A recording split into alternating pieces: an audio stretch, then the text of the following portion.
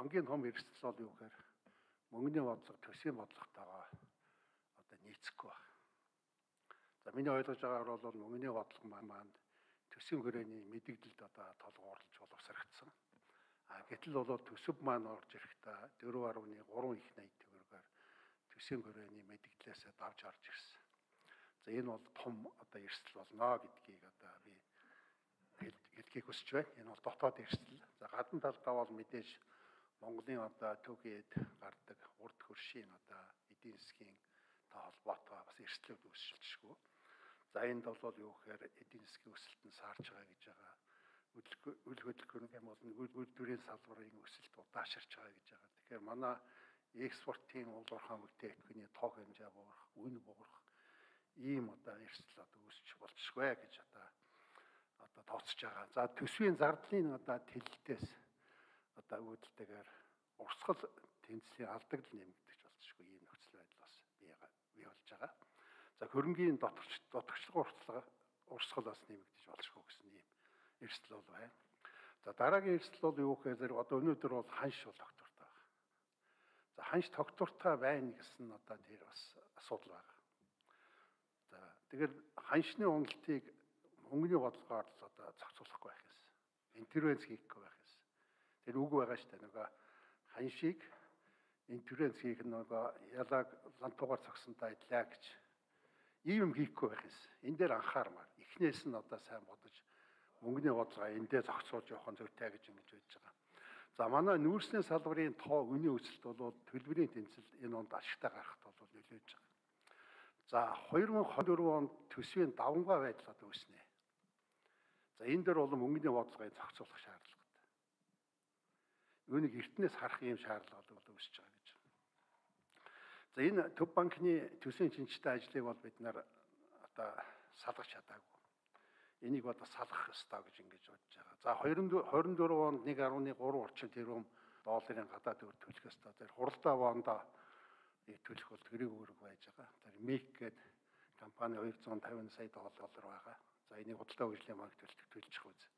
За тэгээ энержи ресурсын 440 сая долларын одоо иргэн төлөлт төлөгдөх ёстой. За энэ бас төлбөрийн тэнцлийн валют нөөцт бас нөлөөлөх үе гэсэн юм юу байх. За ийм одоо бас болгоомжл бол байна. За энэ оны төсвийн татгалаар одоо 1.9 их 80 төгрөгийг бид нар одоо цалин голдуу цалинд нэмсэн дээ. За энэ 24 онд хадгалагдана. За 24 онд мөн төсвийн зарлага 5 их 80-аар одоо нэмэгдэж байгаа. Энэ бол юу гэхээр бас инфляцийг байна. Тэгэхээр 23 оны эхний одоо 10 сард инфляц 9% та гарсан үнэн боловч гол одоо хүний хэрэгцээний анхны хэрэгцээ одоо хоол, байр, боловсрал гэдэг бүгд 14-өөс хувийн 14%-аас илүү одоо тийм өсөлттэй байна. Тэгээ энэ дээр одоо анхаарч ажиллана үсттэй тэгээд. Ер нь эдийн засгийн 3 үзүүлэлт байгаа шүү дээ. Нэгдүгээрт нь ханш, хоёрдугаарт нь инфляц, гуравдугаарт нь эдийн засгийн үр ашиг. Энэ одоо гурван үзүүлэлттэй л одоо бид нэр барьж ажиллах ёстой юм байгаа юм л да. Тэгээ ер нь бол инфляцийн хохирлыг хассан одоо тэр бодит өгөөж бидэнд одоо хэрэгтэй. Ийм өгөөж одоо байхгүй л байгаа юм л да. Тэгэхээр мөнгөний бодлого дээр энэ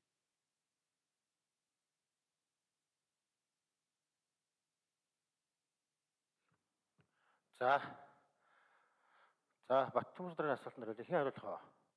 За Монгол Өнгийн ерөнхийлөгч Лавсар хариулъя. Ажлын хэсгийн 83 дугаар микрофоныг өгье. За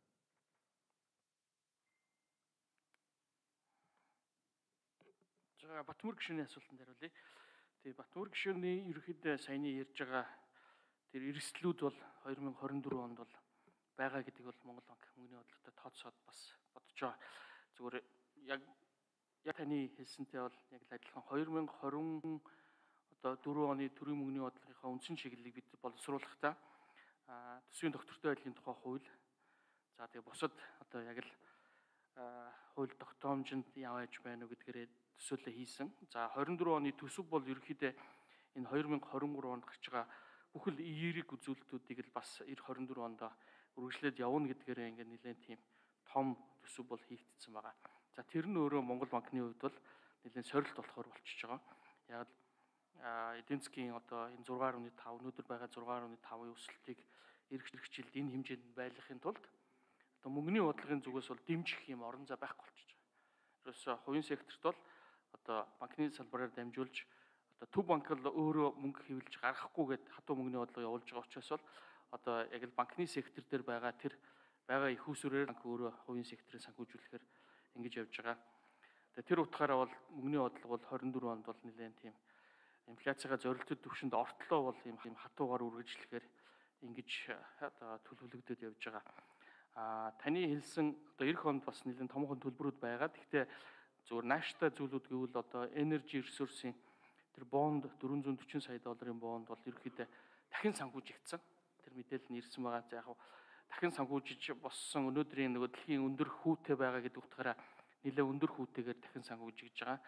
За Микийн Монголын ипотекийн корпорацийн нэг 250 сая долларын бас төлбөр хэрэгжил байгаа. Гэхдээ бидний авж байгаа мэдээлэлээр энэ ондоо тэднээс бол дахин санхүүжүүлэхээр бол бас явах гэж байгаа юм байлаа. Олон улсын зах зээл рүү. За эх онд бол засгийн газрын өөрийнх нь төлөх ёстой яг засгийн газрын бооны 370 сая долларын үүр байгаа. За сая бол ерөөсөөс 2 3 7 хоногийн өмнө 350 сая доллар үүр төлсөн. За тэр утгаараа бол эх жил төлөгдөх 370 сая бол энэ тим их бас төвхтэй ачаал авчрахгүй болов уу гэж Монгол нийт зүгээс л харж байгаа. За тодруулж асуух уу да. За байнгын орон дараах багаагийн бат төмөр тодруулж асууя.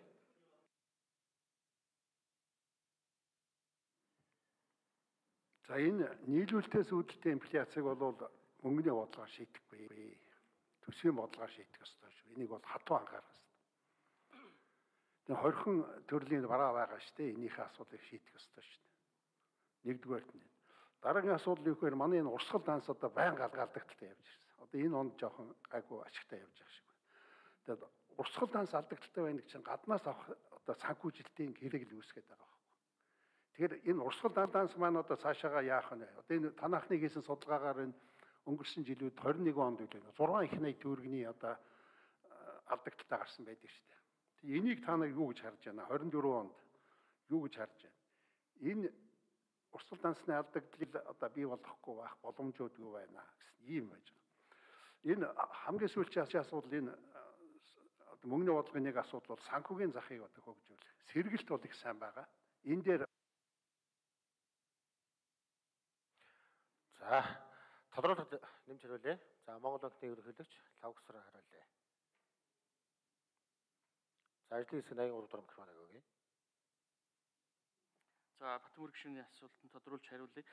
Тэгээ 2008 оноос хойш анх удаа 2023 онд урсгал данс ашигтай гарсан.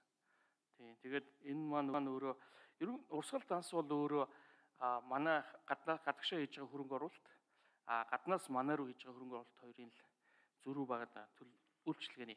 Тэгэхээр тэр утгаараа ерөнхийдөө одоо худалдааны тэнцэл ашигтай гараад нааша орох урсгал нь ингээд сайжраад ирж байгаа учраас бол ерөнхийдөө урсгал тэнцэлд бол сайн нөлөө үзүүлж байгаа.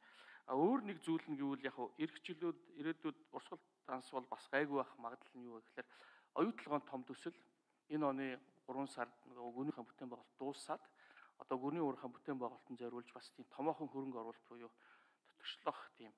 Одоо зээлийн үр хэлбэрээр бичигдэх өр бол ерөнхийдөө ингээ буурах бах гэсэн хандлагатай. А гэхдээ бол мэдээж нөгөө талдаа гадаадын хөрөнгө оруулалт бол өөр За тодруулахад гүйцэгээд хариулчих. За лавсран өргөж хариулъя. Тэгэхээр ерөнхийдөө ийм томоохон хөрөнгө оруулалтууд их орж ирээд ийшээ орох одоо зээл хэлбэрээр бүртгэгдэх урсгал их нэмэгдүүл улдаас алдагдaltaй гарахаар байгаа. Тэгэхээр бидний хувьд бол мэдээж нэг талдаа энийг тэнцвэрийн балансжуулахын барих нь чухал гэдгээс харж байгаа. За. За усыг хөрөлтөн гишүүн. Усыг хөрөлтөх Монгол Эрдэнэ намын бүлгийн дэд дарга мөнхөг оюун чимэг асуултаа асууя энэ төсөв мөнгөний бодлогыг уялдуулаад ипотекийн зээлийг одоо